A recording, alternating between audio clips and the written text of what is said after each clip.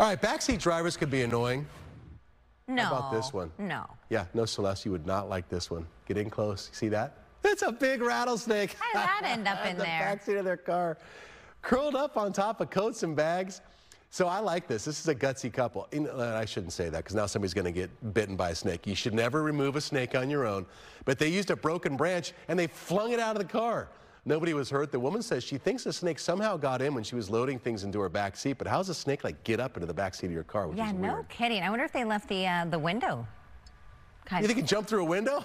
No, I think it slithered through the window or something. I don't know. Who knows? It's knows? crazy. So uh, she suspects that snake could have been in her car for up to two weeks. Wow. In the Yeah. back seat? Yeah, that's something. That is something. She didn't hear the rattle. She must have been listening to some Snoop Dogg or something, you know what I mean? Loud rap music. She didn't he- hear it back there.